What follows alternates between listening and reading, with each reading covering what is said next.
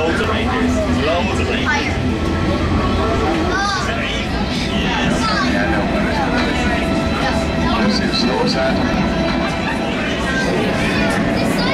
Yeah, exactly. Yeah, I know.